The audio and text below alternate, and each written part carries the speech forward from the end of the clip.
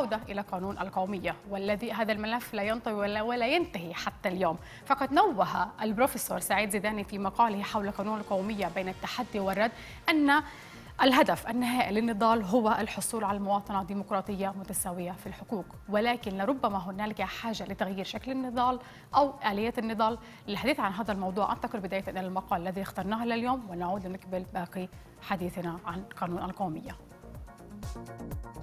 قانون القومية التحدي والرد بكلام البروفيسور سعيد زيداني. قانون القومية حسب ما قلنا وكتبنا ورددنا وحسب ما قالوا وكتبوا ورددوا.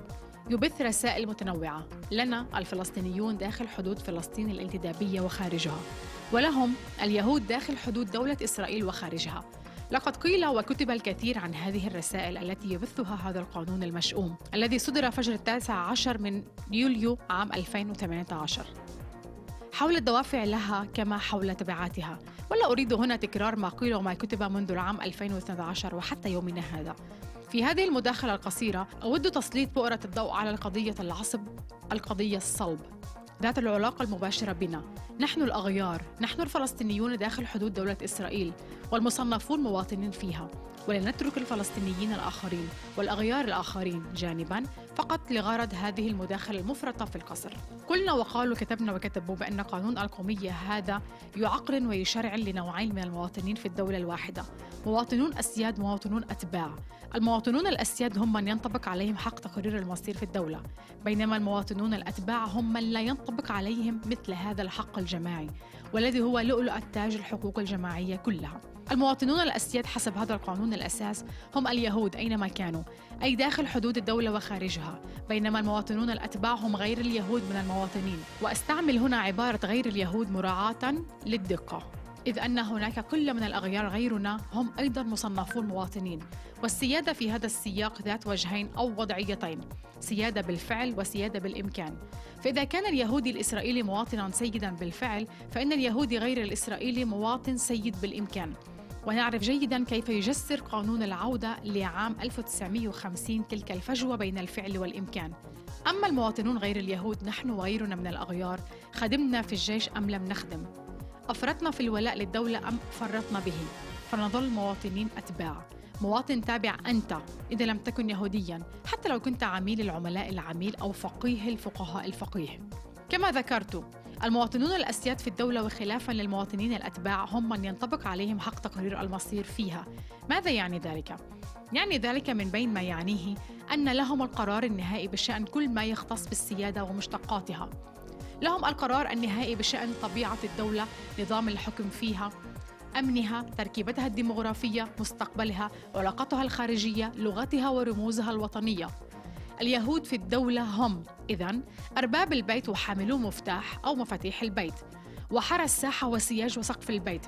وإذا كان الأمر كذلك فقانون القومية إذا وبقوة القانون الأساس ذي البعد الدستوري يفصل ويميز عنصريا بين نوعين من الديموس.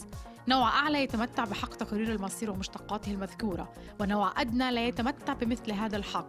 قانون القومية إذن هو قانون تفوق عرقي وفصل وتمييز عنصري. ولكن التفوق العرقي والفصل والتمييز العنصري عندنا يختلف كثيرا عن التفوق العرقي والفصل والتمييز العنصري الذي كان معمولا به في دولة جنوب أفريقيا لمدة تقارب نصف القرن.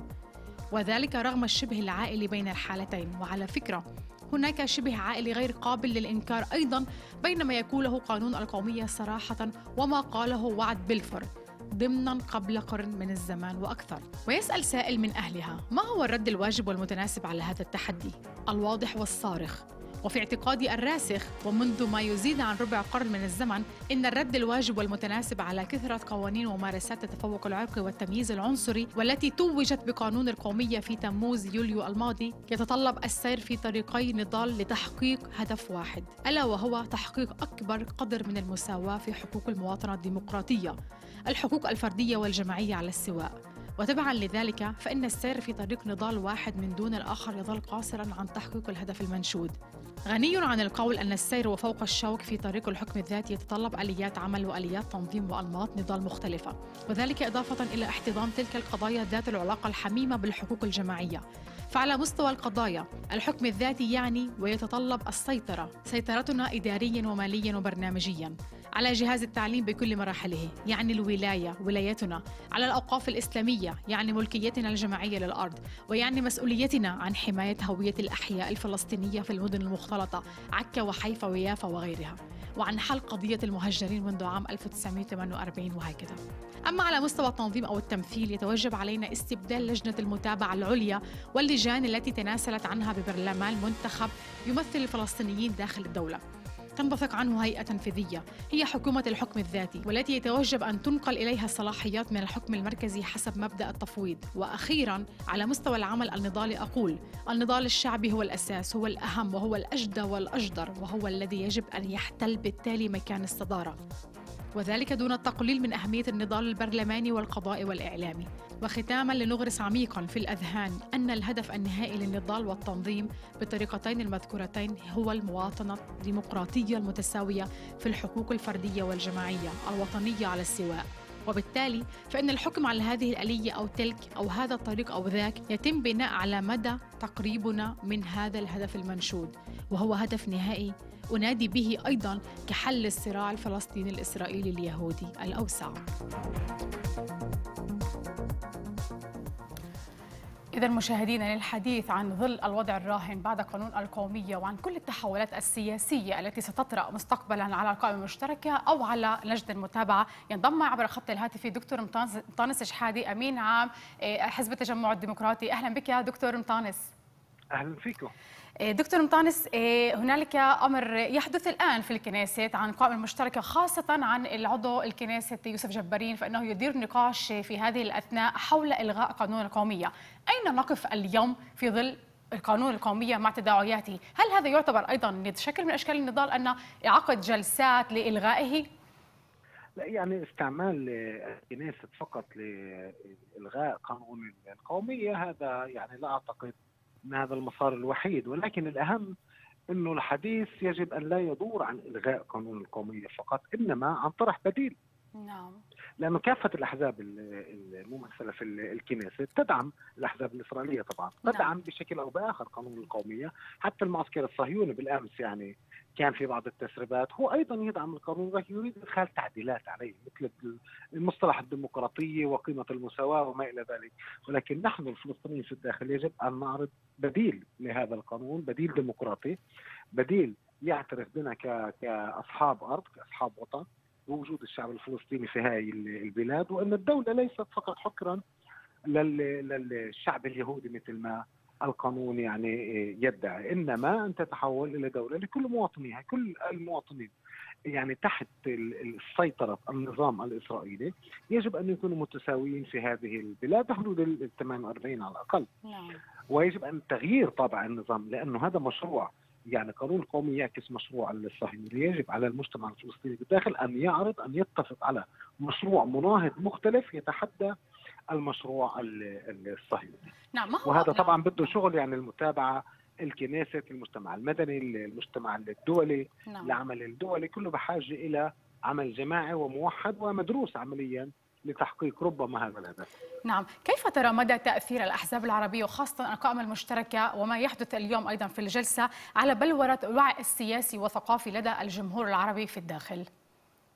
لا هي يعني الحقيقة الأحزاب العربية تقوم بدور مهم جدا في نسميها يعني جتمعة المجتمع الفلسطيني في الداخل يعني نعم. الترويج الإيديولوجي الأفكار العمل السياسي الأفكار السياسية تطرح عن طريق الأحزاب وهذا كان نعم. من يعني من 48 لليوم الأحزاب في الداخل لديها دور هام يعني في قسم منا بفكر يعتقد إنه فقط العمل البرلماني هذا يعني المحور العمل الوحيد للأحزاب العربية ولكن هذا جزء من عمل الأحزاب هناك المؤسسات الحزبية هناك العمل الطلابي المخيمات الصيفية كل عملية يعني التثقيف السياسي والمنافسة لأنه المنافسة مرات جيدة للتثقيف السياسي لدى المجتمع الفلسطيني والحفاظ على الهوية والحفاظ على ما يجمعنا في هذا الوطن هاي مهمة يعني ليست سهلة ومش مش قليلة نعم. للأحزاب العربية في الداخل القائمة المشتركة يعني تتشكل من مجموعة أحزاب نعم.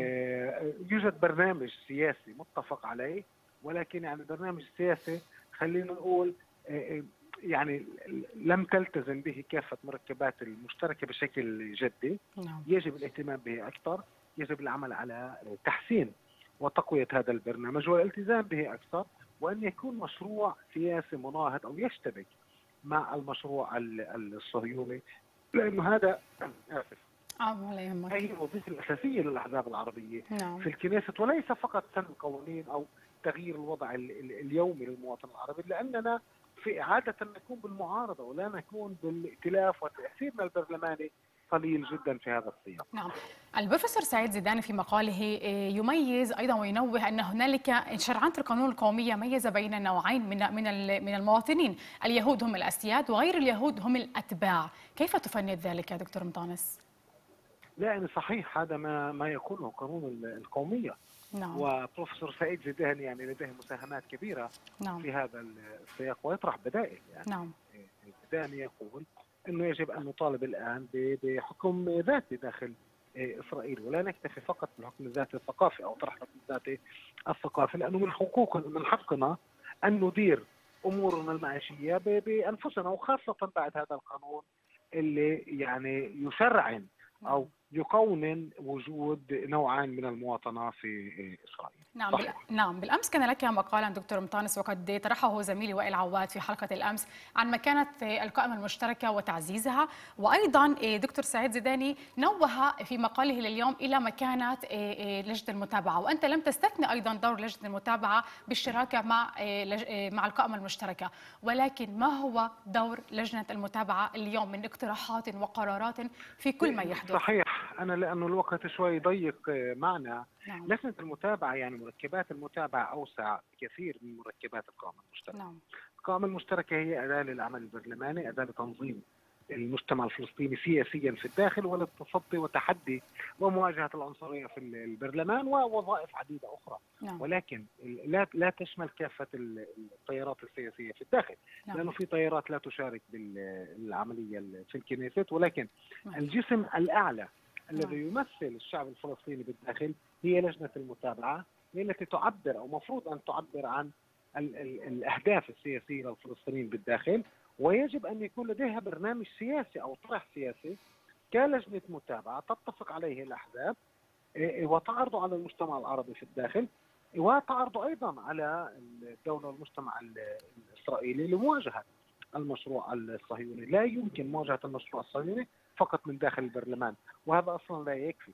لجنة المتابعة لديها وظيفة هامة جدا في هذا السياق وطبعا العمل بالتعاون مع القائمة المشتركة هل يمكن تغيير صلاحية لجنة المتابعة العليا لكي تغير أيضا لكي تعزز مكانتها هل هل برأيك هنالك يجب أن يكون تغيير معين؟ مكانة طوعية يعني لا يوجد لديها مكانة قانونية الدولة لا تعترف بها مكانة نعم. طوعية من قبل الأحزاب والمجتمع العربي في الداخل ونلتزم جميعا بقراراتها لأننا شركاء فيها ما يمكن نعم. عمله يعني رفع مكانة المتابعة وتقوية شرعيتها عن طريق انتخابات مباشرة من المجتمع العربي لن تكون فقط يعني لجنة منتخبين إنما أن تنتخب بشكل مباشر من المجتمع العربي وأنا أعتقد إنه في السنوات الأخيرة يعني مكانة المتابعة تتحسن وعملها يتحسن في الشارع العربي في الداخل. نعم. دكتور متانس لدي سؤال أخير فقط. لا أريد أن أستثني المكانه الجمهور ودور الجمهور في كل ما يحدث.